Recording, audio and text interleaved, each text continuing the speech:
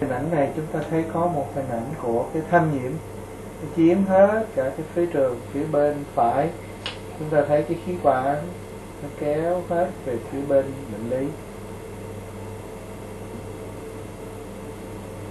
Ở trên lâm sàng người bệnh này có một cái ho ra máu và sau đó nó làm một cái một cái nút.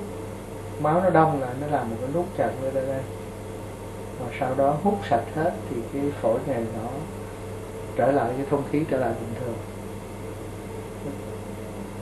Đây là một cái xẹp phổi do một cái rối loạn không khí